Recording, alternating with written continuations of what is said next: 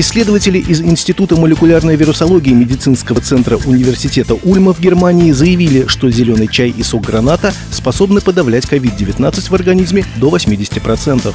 Московское областное региональное отделение партии «Единая Россия», взяв на вооружение научные разработки, организовало акцию «Лови гранат».